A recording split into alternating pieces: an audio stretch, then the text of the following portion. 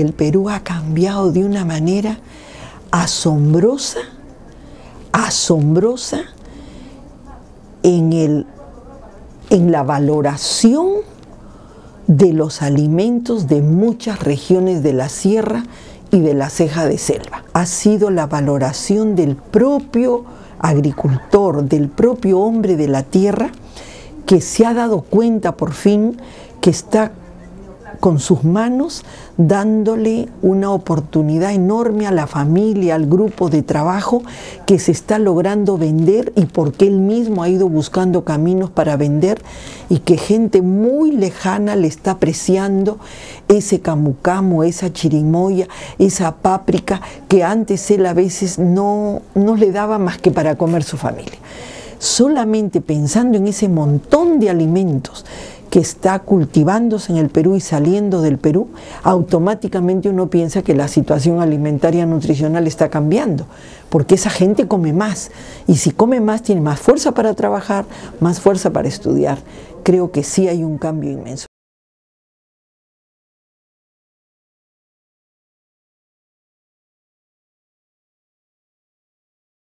No solo andina, acá sí tengo que con un poco de angustia decir que inclusive la gente andina a veces cambia alimentos mejores nutricionalmente para tener siempre fideos y arroz. Y eso no precisamente crece en la sierra. Pero la facilidad de un ama de casa de poner a hervir un trigo ya bajo la forma de fideo ha llevado a que esos sean los alimentos que el Perú más consume. Es cierto que todavía hay zonas tan alejadas que el trueque o la venta no llega a efectuarse. Entonces sí tienen que comer lo que su tierra les da. Y en ese sentido hay zonas de la sierra que solo comen uno o dos alimentos, entre ellos oyuco y papa, por decirle dos ejemplos. En general en el Perú tenemos la ventaja inmensa de tener tantos pisos ecológicos que podríamos llenar las necesidades nutricionales cambiando lo mejor de cada uno. Las carreteras y las vías de comunicación todavía no son buenas.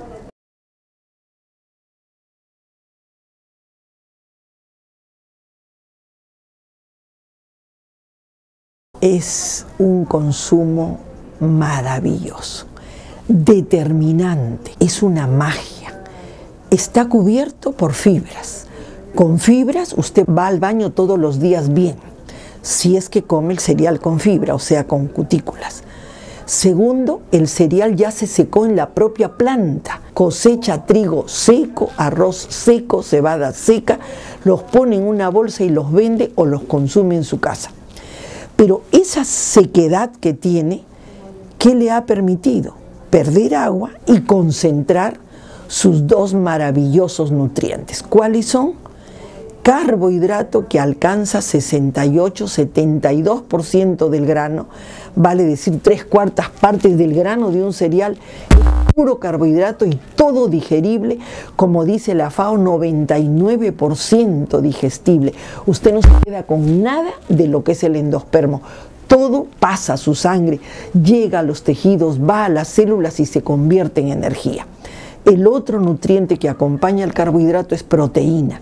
No es muy elevada, pero como le he dicho que todo se aprovecha, 6.7 el arroz, 7.9 la cebada, 8.2 el trigo, el, maíz 8.2, de tal manera que juntos carbohidrato y proteína le están dando al peruano en forma económica una nutrición completa.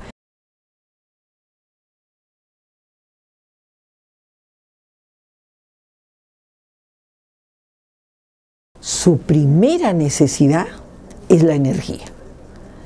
Y la energía la brindan los carbohidratos esencialmente, con algo de grasa. Entonces los cereales, llámese trigo, arroz, maíz, cebada, se le entrega al niño bajo la forma de pan el trigo, de tortillas en el caso de México, el fideo está hecho sobre todo de trigo, el maíz en la sierra se hacen panes de maíz, torrejas de maíz, Y entonces el niño cubre su necesidad energética. Pero el niño está creciendo y si tiene que crecer tiene que tener ladrillos, estructura que lo hagan cada vez más alto. Entonces tiene que comer una fuente proteica. No es muy alta la del cereal. Por lo tanto, si solo comiese cereales, podría estar en un déficit de estructura. Por eso sería bueno huevo, leche, menestras.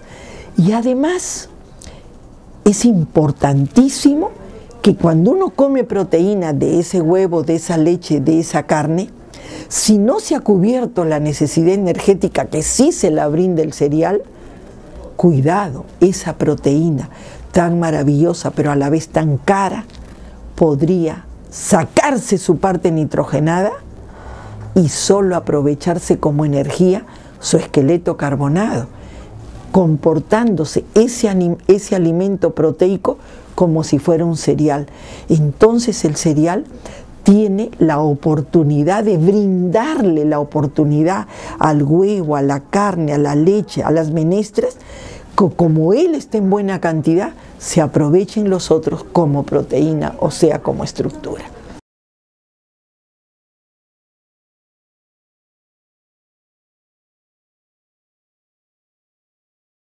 Los niños están en crecimiento de tal manera que necesitan más proteínas por gramo de peso que un adulto. Eso no quiere decir que en cantidad necesite más. Su mejor alimento sería un poco de cereales para que le dé la energía necesaria y esa proteína a la que me refiero de pescado, de pollo, que son las carnes más suaves.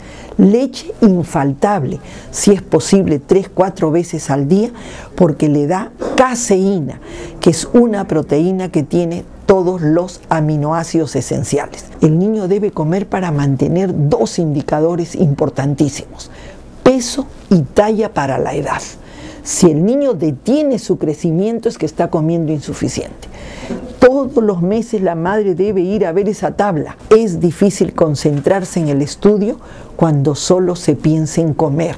El niño con hambre no se le puede exigir ni moverse, ni saltar, ni correr, y menos estudiar.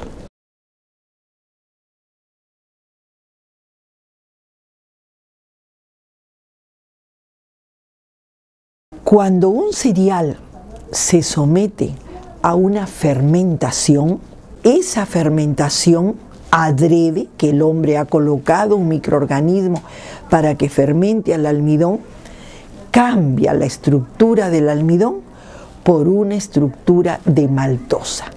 Por eso se llama malta. En países se consume la malta como una leche, o sea, una bebida malteada, no chocolateada, sino con malta, ese 3 o 4% de carbohidrato, el niño lo toma llegando de su colegio, en botellas pequeñas.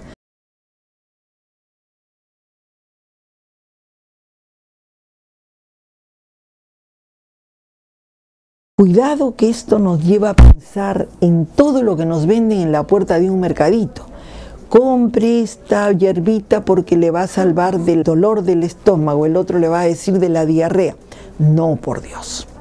Los alimentos funcionales están regulados en el mundo. Puede ser una vitamina, exacto. Puede ser un mineral, exacto. También son funcionales los pigmentos o colorantes de cientos de vegetales.